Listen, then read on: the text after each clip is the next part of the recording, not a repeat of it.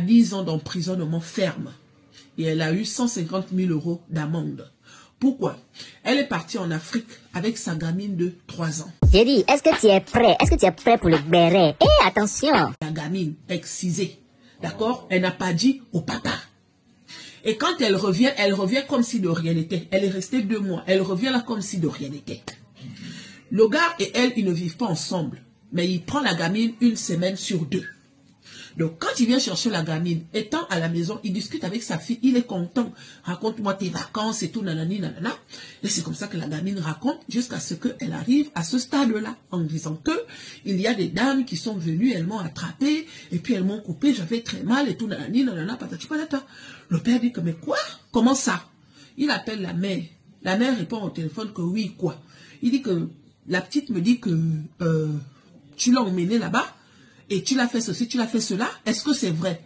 La mère dit que oui, c'est vrai, pourquoi? Il dit, en bon, c'est comme ça que tu me réponds Elle dit que je ne te réponds pas comme ça, pourquoi? Parce que moi-même là, est-ce que tu m'as vu avec ça? Le gars dit que, mais toi, je m'en fiche. Que tu es ça ou pas, je m'en fiche. Sauf que là, il s'agit de ma fille. Avant de faire quoi que ce soit, je pense que tu aurais quand même pu, un, m'en parler, et deux, demander mon autorisation. Pourquoi tu emmènes ma fille là-bas et tu vas lui faire ça sans même m'en parler? La mère a dit, oh non, c'est aussi ma fille. Dans ma tradition, on fait ça. Dans ma coutume, on fait ça. Dans ma famille, on fait ça. C'est obligatoire. Donc, tu, tu prends ça comme tu veux. Moi, je m'en fiche. Le gars a dit, ah bon, ok. Le lendemain, il est parti porter plainte à la maman. Quelque temps après, on a convoqué la maman. Arrivée là-bas, elle a dit oui, je l'ai fait parce que euh, euh, oui, je, n'ai pas parlé au papa et tout, nanani, nanana. On l'a juste écouté. Après, elle est partie.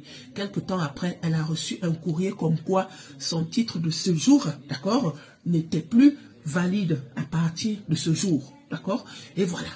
Donc la fille est et tout, nanani, elle se renseigne auprès des gens. Les gens lui demandent de faire euh, un recours comme quoi il faut écrire au, prophète, au au procureur euh, lui expliquer que euh, euh, ce n'est pas une question de nanani nanana, c'est une question de dans notre famille. En tout cas, faire un courrier comme ça. Elle a écrit au procureur. Le procureur a dit qu'en fait, toi, tu n'as pas compris que ce que nous sommes en train de te dire, c'est que l'acte que tu as posé là, c'est un acte immonde. On ne coupe pas en bas là-bas des femmes. C'est interdit.